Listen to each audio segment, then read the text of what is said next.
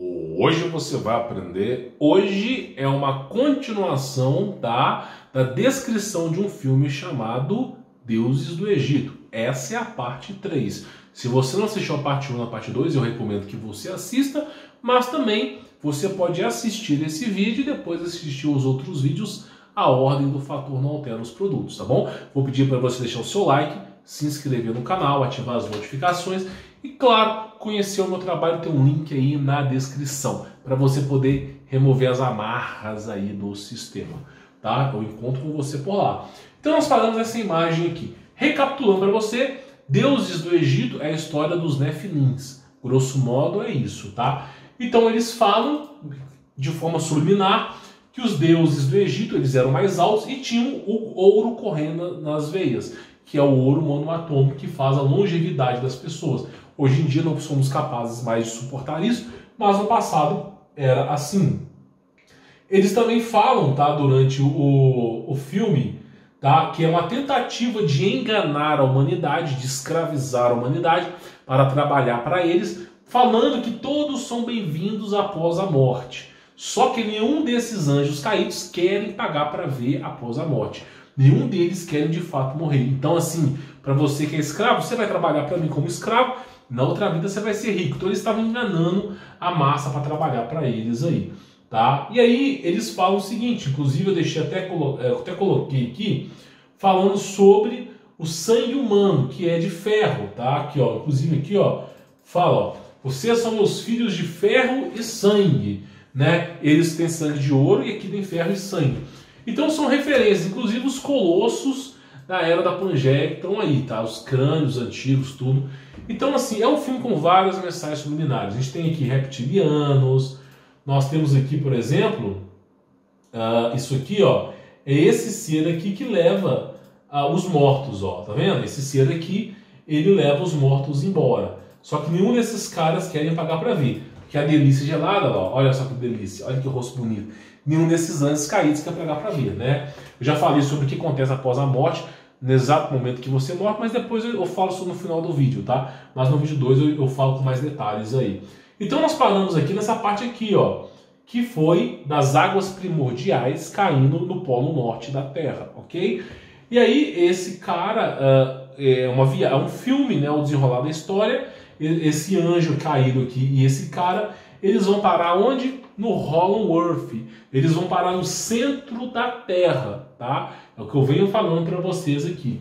Então, assim, o filme fala sobre terra, Uruplana, Holloworth, Nefilins, anjos caídos, mostra anjos com asas, transmutações, reptilianos, tudo o que eu venho falando aqui. É, monolitos, pirâmides, obeliscos, fontes de energia, tudo isso. Aí fala o seguinte, ó, sobre o ouro monoatômico, esses monstros que são criação de Nefilins não são tão puros quanto os anjos e não são tão puros como a primeira criação dos Nefilins, esses, esses que se transmutam em animais também têm sangue de ouro, tá? E aqui novamente fala-se o seguinte, que a Terra Pararapuru é Pararapuru plana, né? Então eles falam da Terra Pararapuru plana aqui e eles colocam os obeliscos, né? Aqui é o Monte Meru, ok? Que eles colocam aqui o Monte Meru. E aí eles colocam aqui as pirâmides do, do, do Egito e vão colocando aqui simplesmente os obeliscos. Ah, mas para que serve o obelisco? É para ficar adorando coisa pagã? Sim, também é. Mas o obelisco, principalmente, ele serve para fonte de energia.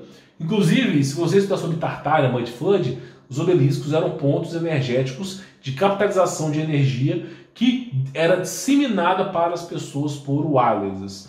Inclusive, tem uma, uma revista chamada The Electrical Technology, que fala, inclusive colocava um número. Se ó, compre energia wireless aqui. Eles tinham cabines que vendiam energia wireless. É como se fosse um cartão. Você colocava o tanto de energia que você quer e você usa até acabar. Então era isso no passado. Não sei por que, que mudaram, mas mudou. Por isso que nós temos a torre de Nikola Tesla, que o negócio foi para frente de fato. Só que depois acobertaram a história.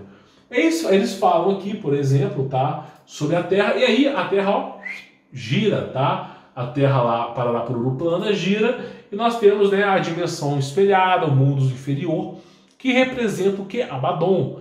O lugar, não Abaddon em si, mas também o inferno, tá? Nós temos o inferno, nós temos a Terra, a, o Hollow Earth, com o Sol lá girando, mas é a morada dos mortos, tá? Não que você vai morar em Ágata se você morrer, não, longe disso. O que está falando é o seguinte: no subsolo da Terra nós temos a, a Hollow as cidades subterrâneas, desses anjos que se preparam para a guerra contra Deus. Nós temos depois disso o inferno ali embaixo, tá? Aqui não está bem descrito, mas é mais ou menos isso aí. Aí ele fala: em breve governarei o mundo inteiro. Esse cara aqui tá, tá falando sobre isso, e de fato eles governaram o mundo. Aí fala: você tem um bracelete para se proteger de demônio. Olha que interessante. No meio do filme fala sobre anjo caído e demônio, né? Que delícia. Então, assim, tenta, ele está tentando dominar o inferno. Esse cara aqui, ele quer abrir o portal para Abaddon, assim como eu falei aqui no canal do cara, que é participante de seita de alto grau, que falou que, que ele recebeu uma mensagem dos anjos, que se ele abrir o portal para a dimensão do Abaddon e os seres vierem para cá, ele vai se tornar um Deus. Ele vai ser como um Deus. Que delícia. É burro pra caramba o cara pensar um desse. Ah, Deus colocou uma barreira para não ser ultrapassada. Nós estamos numa dimensão, eles estão em outras e, e tem que ser assim. Aí os caras querem abrir a barreira, na promessa que vão se tornar deuses, né? Por que, que você não abre a barreira e pula para dentro, então? É, ninguém quer, né? Ninguém quer pagar para ver do lado da história, né? Aí o cara tá querendo guerrear até com o inferno para não morrer, tá? Essa é a história. Aí fala do bracelete dessa mulher que, imposs que impossibilita que os demônios peguem ela. E no momento que ela tira o bracelete do, do pulso dela, os demônios vêm aqui e pegam ela e levam para outra dimensão. Tá vendo? Levam para outra dimensão. E ela vai cair em outro canto. Aqui já é outra coisa que eu preciso explicar. Então é isso, cai lá próximo do inferno, tá? Porque realmente, até, até os anjos caídos temem os demônios. É inacreditável, né?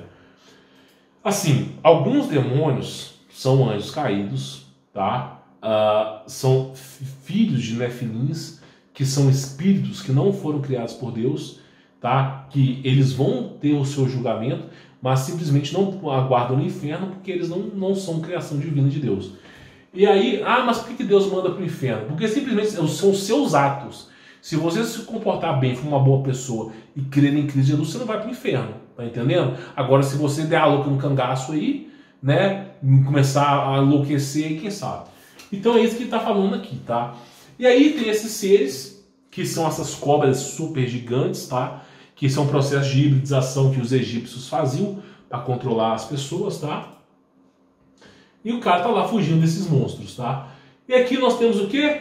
As árvores gigantes. Aqui não, não retrata bem, bem, de forma profunda, as árvores gigantes, mas é aquilo que eu falei. Depois você procura o meu filme sobre Avatar mas eu vou falar até de forma breve aqui para você poder entender. As árvores no passado eram de silício, foram cortadas, ficaram petrificadas e viraram montanhas de pedra que você conhece hoje. Então, né, essas montanhas eram árvores. Essas árvores, elas, elas tinham suas raízes, que elas se translaçavam pelo mundo inteiro, tinha uma fonte de energia interna dela, e os seres humanos e os anjos eles se alimentavam das árvores. A árvore produzia é, comida e quando eles conectavam o cabelo deles com as árvores, com a galha das árvores, eles conseguiam, como se fosse uma internet das coisas, buscar informação de alguma coisa que eles estavam interessados em saber. Por isso que fala em culturas antigas que árvores tinham grande conhecimento, é porque elas armazenavam conhecimento. Aí veio o dilúvio, Deus ordenou aos anjos que cortassem todas as árvores. Nós não temos mais árvore é, gigante. Quem muito é dado, muito é cobrado. E, eles, e o ser humano na era pré-diluviana, muito foi dado e pouco fez acontecer. Voltou puramente ao mal, tá? Por isso foi cortado. Aí eles estão andando por essas árvores gigantes. Eles chegam aqui a. Eu não sei identificar qual seita que é essa. Parece Rosa Cruzes, mas Rosa Cruzes não é do Egito Antigo, é muito depois, vem muito. É, 3, 4 mil anos depois, tá? Então, praticamente é o seguinte: tem alguma seita aqui que eles guardam conhecimento. Porque esse lugar aqui é cheio de pergaminhos, ó. É cheio de pergaminhos. Então, tem lugares secretos que eles vão guardando conhecimento. Ah, me parece, por isso que eu falei, os caras chegaram aqui, ó, ó. Deixa eu voltar aqui. Eles simplesmente chegaram em Hollow chegaram no submundo da Terra, tá? Lá em Hollow Depois que eles chegaram no submundo da Terra, eles encontraram né, um local onde é guardado todo o conhecimento. Então tudo o que aconteceu na Terra, toda a história, tudo é guardado. Porque se a Terra é, acontecer um grande cataclisma, uma inversão do campo, por exemplo, magnético, ah, simplesmente eles vão lá, sobem de novo à Terra, se passam por antigos astronautas deuses, repassam o conhecimento herético novamente, de novo começa a perdição dos homens. Então, praticamente, eles vão guardando esses conhecimentos antigos aí, tá? Aí, é, fala sobre o ouro no subsolo da Terra, tem essa referência, e aqui estão os pergaminhos, ó, eles vão guardando conhecimentos antigos no submundo da Terra, no Hollow Earth. Por isso que é dito que quem vai para Hollow Earth tem acesso a grandes conhecimentos. Praticamente tem a ver com isso aqui, tá? Aí você viu mesmo, aí o cara tá perguntando para esse cara aqui, que esse aqui é o Nephilim, tá? Você viu mesmo a origem do mundo? De onde você veio? De onde você veio se não havia sido criado ainda? Tá entendendo? É, só que aqui não é sido criado ainda não. É de onde você veio se a terra não tinha sido criada ainda. Então esse rapaz aqui está perguntando para esse, esse cara aqui, que ao que tudo parece, parece que é um anjo que caiu na terra, tá? Perguntando assim, você viu mesmo a origem do mundo? De onde você veio se a terra não tinha sido criada? Aí o cara fala assim, se ao menos eu tentasse explicar, seu cérebro se derreteria e escorreria pelas, pelas orelhas. Porque é simplesmente a criação do mundo, de Adão e Eva. Só que eles não vão contar isso aqui. Eles não vão possibilitar que o ser humano saiba a verdade. Para você ter escravos que trabalham para você até o último suspiro da vida deles, eles não podem saber a verdade. Se todo mundo descobrir que existe um Deus que está preso numa, numa, num aquário e que é o único caminho é Jesus Cristo, para que, que eu vou ficar longe da minha família? Para que, que eu vou aceitar ordens? Para que, que eu vou é, acatar ordens do governo se eu simplesmente estou preso numa bolha e não posso sair? E o caminho para sair daqui é Jesus Cristo e está cheio de demônio tentando me passar a perna. Então, para quê? A pessoa muda a concepção na hora. Então, tem que ter um engano, um engano, para esses caras poderem trabalhar. Então, eles vão mentindo. Por isso que o cara não queria dar a resposta. Porque esse menino aqui, ele era o escravo desses caras. Carregava tudo para esses caras, fazia as coisas para esses caras. Tá? Foi usado por esses anjos caídos para poder, para poder é, conseguir conquistar o objetivo deles, tá? Aí, por exemplo, uh, falando com os mortos, essa, essa, tá? Deixa eu pegar aqui, eu não mostro aqui, mas essa mulher aqui, ó, ela fica com dó desse cara porque a mulher do cara morreu, não sei o quê, e aí ela abre um redemoinho e começa a falar com os mortos, né? Cristo já tinha advertido sobre isso. Aí esse demônio vai lá e para a magia de falar com os mortos, né? É proibido os mortos falarem com os vivos. Pelo menos nisso eles acertaram, né? E os mortos em sua jornada para delícias geladas, né? Que delícia. Nós temos a pirâmide do Egito. Aqui eles colocam a pirâmide como um lugar de fogo, não sei o que. Não, a pirâmide é um ponto energético, tá? Com grande tecnologia e passagens para o submundo. Mas aqui eles quiseram colocar como um joguinho, um quebra-cabeça, os caras desvendaram o mistério. E aqui nós temos uma esfinge, tá, que protegia um grande tesouro. Aí fala a verdade sobre os anjos caídos. Aprendi a lição sobre os deuses. Não se importam com os mortais. Então é a mais pura verdade. É a mais pura verdade. Anjo caído não está nem aí para nós. Não está nem aí. Se eles tiverem que dizimar a humanidade, reduzir a população, para que eles possam viver, que eles vão fazer, eles não estão nem aí para nós. Então para com essa idolatria desses seres. Para de cultuar demônio, para de cultuar mau espírito aí. Para, eles não estão nem aí para nós. Ah, mas ele me deu dinheiro. Vai dar, dar dinheiro, otário. Vai lá, trouxa. Troca sua alma, que é considerada como vós sois Deus, por uma meio prato de lentilha. Parabéns. É, realmente, coloca, coloca na sua boca assim, uma melancia e a palavra eu sou trouxa. É, sabe, tem que colocar. Então, assim, se você soubesse o valor da tua alma, você não vendia ela. É inacreditável isso. E aí simplesmente o cara aprendeu, não se confie em anjo caído, né? Aí esse cara vai lá e tira, de certo modo, a, a, o cérebro desse cara aqui. Só que não é o cérebro, é como se fosse inteligência artificial. É aquilo que eu falo, os céus também tem tecnologia. E ele tira, ao que tudo parece, um acoplamento dos anjos com inteligência artificial. Que parece que é o cérebro do cara lá, tá? Aí, é, o julgamento dos mortos, eles estão caminhando para serem julgados, tá? E vamos lá, tá subindo aqui para o grande dia do julgamento. Só que é o julgamento do que? Dos Nephilims. Eles criaram, né? Então, por exemplo, olha só, olha só. Ah, olha só. Todos são bem-vindos à vida após a morte, né? Que delícia, que delícia. São bem-vindos à vida após a morte. Aquele olharzinho de, de dúvida, né? Se a vida após a morte é tão boa, por que, que você, anjo caído, quer estar entre os mortais? Se a vida após a morte é tão boa, por que, você quer estar entre os mortais? É, todos são bem-vindos, né? Aí quando chega, quando chega a história do julgamento dos mortos, a menina percebe a merda que se envolveu. Porque quem vai julgar ela é o quê? Olha só, ela no filme não tem Jesus, né? então não tem outro caminho. É o quê? A delícia gelada. É que delícia! Então tem esse ser aqui que julga, né? E simplesmente esse ser que julga, ó. ó o que, que você oferece?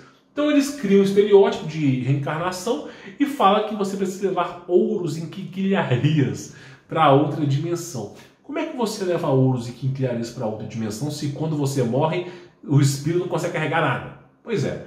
E aí simplesmente a menina está subindo. Aqui é onde acontece o grande julgamento. Aqui está a cadeira dos tronos dos anjos caídos. E os anjos caídos, tudo caveira, tudo, tudo bonito. Que, que você oferece? O que, que, você, que, que você oferece para mim aí? Essa ervinha é muito louca.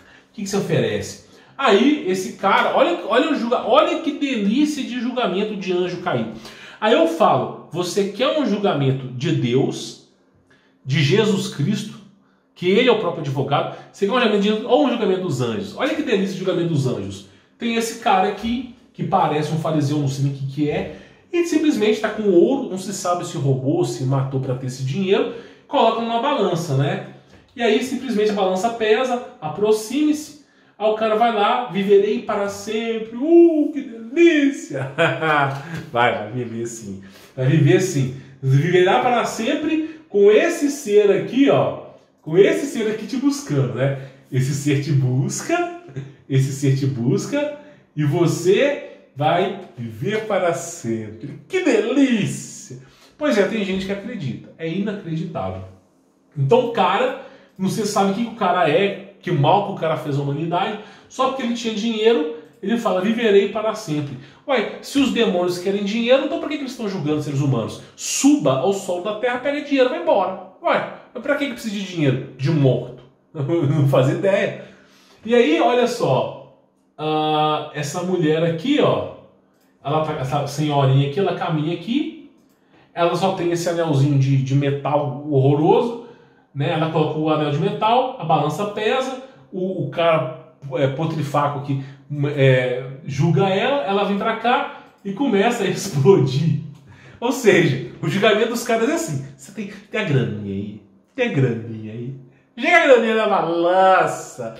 Joga a graninha na balança que eu vou conversar ali com o carcereiro. Nós vamos, nós vamos te absolver. Não interessa se você explodiu um prédio. Joga a graninha na balança aí. Aí chega a mulher, pode ser que essa mulher tenha tido uma vida ah, de, de, de dificuldades, não sei o quê, mas porque não tinha dinheiro, ela foi explodida. Ai, que delícia. É realmente. E você reclamando do julgamento de Deus, né? Pois é. Aí uh, passa histórias, né? Os mortos não conseguem se, se esse, essa mulher está morta, esse cara está vivo, os mortos não conseguem encostar no, no ser vivo, é o, é o que eu falo espiritual, e né, o processo de hibridização. Dentro desse filme, mostra claramente o processo de hibridização de anjos. Eles mostram como eles, eles fazem os trajes energéticos, tá? Como que eles moldam os trajes energéticos, que é feito com nanotecnologia também. Então, eles moldaram esse traje aqui dentro do filme, tá? Nós temos a nave voadora, inclusive puxando aqui o Sol, né? mas praticamente a nave voadora. Nós temos referências à Terra plana. Uh, aqui não fala gro grossomente aqui falando ó, sobre a curvatura, mas fala aqui, ó, uh, fala aqui no filme, ó. É aquilo que eu falo para vocês, eles, eles mostram o tempo todo, ó, o tempo todo eles mostram aqui, inclusive aqui, ó, ó, na cara dura que eles mostram, tá? Então nessa parte aqui eles falam sobre isso, tá? a, a nave voadora, tá? Que é a morada dos anjos. E aí, então o que? Esse cara aqui, ó, não destruiria da, da, uma nova forma, né? Aí o cara falou, você quer destruir o planeta inteiro, você quer trazer Abaddon para cá, porque esse cara não quer morrer. Porque esse, esse, anjo caído sabe que ele vai dar de cara com um demôniozinho lá e que essa história de, de reencarnação é uma furada. Aí ele crava a guerra com o mundo inteiro e ele quer trazer a dimensão dos mortos para a vida só para não morrer. Tá? A verdade é essa. Então, assim, os homens desejarão a morte e não conseguirão. Porque vai ter um ser desse que vai abrir a dimensão para Abaddon e vai trazer a dimensão dos mortos para cá. Aí nós não mais morreremos. ficaremos presos, não nós, né? Mas aqueles que, que negarem a Jesus Cristo. E vai ser um inferno, né? Aí ele fala: Não, mas se eu trazer a dimensão da Abaddon, eu não vou destruir a terra. Todos eles falam isso. Todos eles falam isso. E aí, simplesmente, ele, ele trava uma guerra com o pai dele e destrói a nave. O interessante fato é: essa, essa questão de destruir a nave tem muito a ver com Nimrod, que tentou subir aos céus, quis guerrear contra Deus, né, quis fazer guerra contra o, o domo lá né, e os anjos que estavam para cima. E um dia antes de começar a guerra, lá da, onde se sabe, é, a nave dele foi cortada ao meio por um anjo, tá? Então eles sempre estão querendo guerrear com os céus, tá? Sempre E os trajes energéticos. Se você acha que, que o Homem de Ferro tem um traje poderoso, você não viu esses trajes aqui. Porque a origem dos trajes energéticos são essas, tá? Transmutações. Aí nós temos aqui, tá? O, o demônio falando, ah, o portal foi destruído porque aparentemente os seres humanos querem criar portais, tipo Surne, Orion, né? E vai dar merda, né? Ai, delícia gelada, que delícia. Vai, vai, vai, vai, delícia. Aí o caos se espalhará pela terra. Apófis destruirá a terra. Não, na verdade não é Apófis, é Abaddon destruirá a terra. Então, quando o portal é quebrado, ou você abre um portal para cá, Abaddon vem para cá. E aí eles querem fazer isso, porque eles querem ser imortal. Esse filme, na verdade, se retrata exatamente desses casos de seita. Querem trazer Abaddon para cá. Tem, já fiz até um vídeo sobre isso, tá? E sempre traz destruição. E aí vem Abaddon, né? Uma dimensão terrível, terrível, terrível. Monstros. Aí ele fala, venha demônio. Aí que delícia, né? Olha só, vamos, vamos pegar, vamos voltar aqui, vamos voltar aqui para você poder entender. Ele falou, não destruiria, eu não destruiria a terra de forma alguma, meu. Depois que eu abri o portal, eu não vou destruir a terra. Aí o portal foi destruído, né? Aberto, né? A primeira palavra que o cara fala, venha demônio. Aí você vê, pois é, é um mar de mentiras. Então simplesmente o cara abriu o portal e agora tá inversão dos polos, não sei o que. Tá lá, ó, chamando as coisas ruins para vir para a Terra, né? Aí esses seres de fato começam a vir, né? E começam a desenrolar, ó, esses seres estão aqui, tá? E começam a desenrolar na história. Ah, aí temos obeliscos, que são fontes energéticas, tá? Que esse, inclusive aqui mostra quatro rostos aqui. Esses quatro rostos que são mostrados aqui, apesar que tem crânios de, de leviatãs, de, de, de, monstros da Pangeia, a referência dos quatro rostos é a referência dos querubins. Querubins são anjos com quatro rostos, tá? Então a referência a Lúcifer aqui.